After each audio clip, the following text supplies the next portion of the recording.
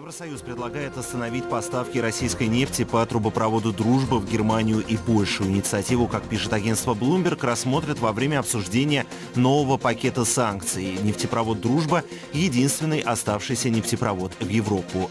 Евросоюз предлагает остановить поставку российской нефти по трубопроводу «Дружба» в Германию и Польшу. Инициативу рассмотрят во время обсуждения нового пакета санкций, передает Bloomberg. Нефтепровод «Дружба» — единственный оставшийся нефтепровод в Европу Европу. У него две ветки, северная и южная. Сейчас нефть идет только по южной, через Украину, Венгрию, Словакию и Чехию. Нефть по дружбе в Германию и так не поставляется, так что предложение Евросоюза может быть призвано закрепить эту практику на уровне санкций, говорит ведущий эксперт финансового университета и Фонда национальной энергобезопасности Игорь Юшков. По факту там ничего не изменится, то есть и так нет поставок, поэтому никакого особого смысла и изменения по торговле это не приведет. Сейчас по санкциям Евросоюза не запрещено запрещено импортировать российскую нефть нефтепроводным транспортом. Эмбарго касается только нефти, которая перевозится морским транспортом. В то же время европейцам нужно как-то наполнить этот 11 пакет. Германия, например, отказалась импортировать российскую нефть а с 1 января 2023 года вот именно на уровне национальной юрисдикции. Теперь они хотят возвести это в уровень ЕС. Польша же, со своей стороны, она вообще не вводила запретов, хотя весь 22 год, в общем-то, призывала все остальные страны это сделать и заставляла Германию это сделать. В итоге Германия ввела запрет, а Польша нет. Но Польша решила, что она доработает те контракты коммерческие на поставку российской нефти, которая у нее существует, а вот новые контракты подписывать не будет. И в итоге это произошло с договором Роснефти. Он закончился, они продлевать его не стали. Но договор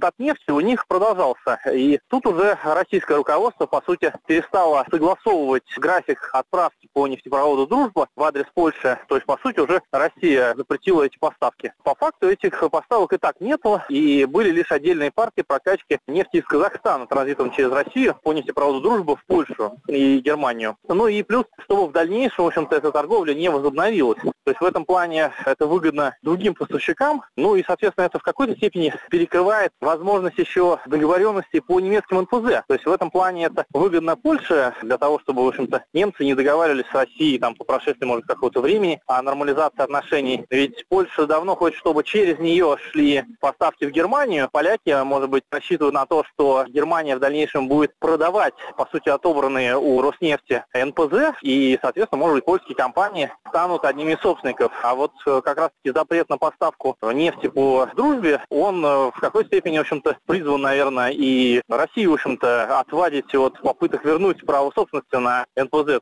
Ведущий эксперт финансового университета и Фонда национальной энергобезопасности Игорь Юшков. Евросоюз предлагает сделать исключение для Венгрии, Словакии и Чехии, которые получают нефть по южной ветке нефтепровода. Так как инициативу будут обсуждать в рамках санкционного пакета, для ее принятия нужно одобрение всех стран-участниц Союза.